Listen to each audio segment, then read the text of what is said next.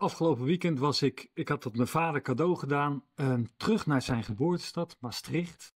En daar gingen wij een weekend samen wandelen langs herinneringen. Nou, wat had hij gedaan? Hij had contact opgenomen met een ja, jongen of man, is net hoe je het vraagt, met wie hij op de lagere school heeft gezeten en met wie hij bevriend is geweest.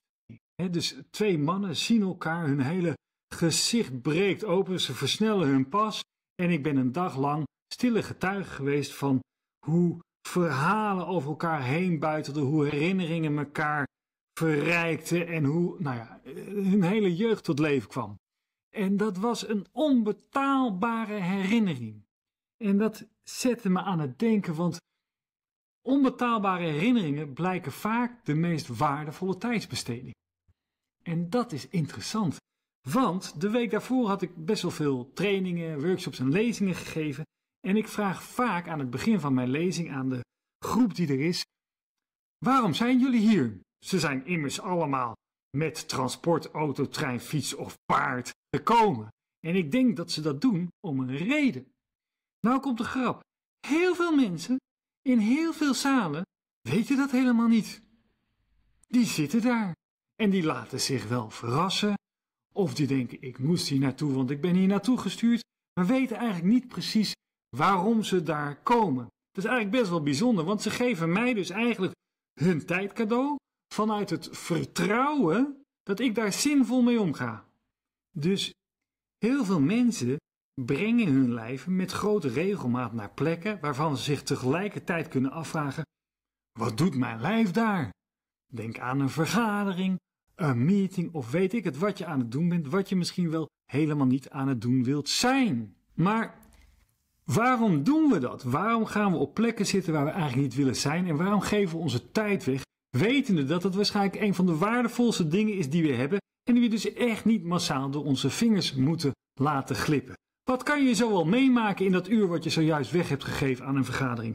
Je kan een kind geboren zien worden, althans het laatste stukje. Je kan je partner ten huwelijk vragen, je kan afscheid nemen van een dierbare, je kan heerlijk voor je uitstaren in de prachtige natuur. Je kan een hele hoop dingen voor jezelf doen waar je eigenlijk nooit tijd voor hebt. Met andere woorden, hoe kan het dat we tijd weggeven aan de dingen die misschien helemaal niet zo belangrijk zijn, op plekken waar we misschien helemaal niet willen zijn, en daar zo onbewust en reactief en onbekwaam mee omgaan? In, ik denk 2019 hebben wij een experience gemaakt rondom de vraag van, joh, ga je zinvol met je tijd om? En eigenlijk de vraag, hoe bouw je nou betekenisvolle momenten in je leven in? En daarvoor kwamen wij op een onderzoekje, misschien ken je het wel, van Bronnie Ware, of onderzoekje, eigenlijk een prachtig onderzoek van Bronnie Ware. Dat is een Australische verpleegkundige en die deed stervensbegeleiding. En zij heeft dus de mogelijkheid gehad om heel veel mensen aan de rand van hun sterfbed te vragen, joh, als je terugkijkt op je leven, Waar heb je nou spijt van?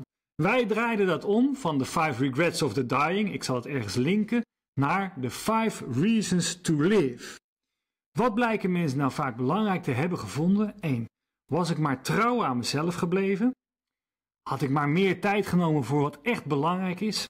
Had ik maar vaker het lef gehad mijn gevoelens uit te spreken? Had ik mijn vrienden en dierbaren maar meer verteld wat ze voor me betekenen? En had ik maar vaker had ik maar vaker voor het geluk gekozen.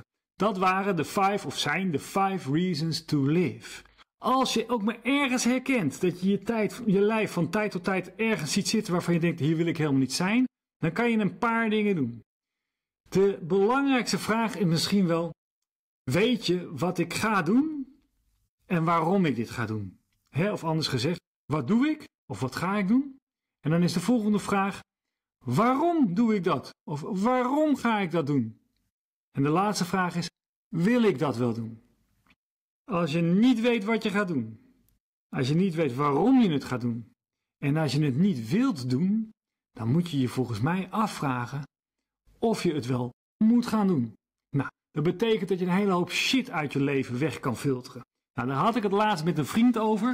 En toen kwamen we op het geinig ideetje, een kleine herinnering die je over zelf ook heel makkelijk kan maken. Men neemt een koffiefilter om de shit uit je leven te filteren en daarop schrijf je: Wil je dit nu aan het doen zijn? Dit filtertje raad ik iedereen aan om te maken en in zijn broekzak, kontzak, tas of ergens aan de muur te hangen en telkens zichzelf eraan te herinneren: Wil ik dit nu wel aan het doen zijn? En als het antwoord nee is, joh, stop er dan mee.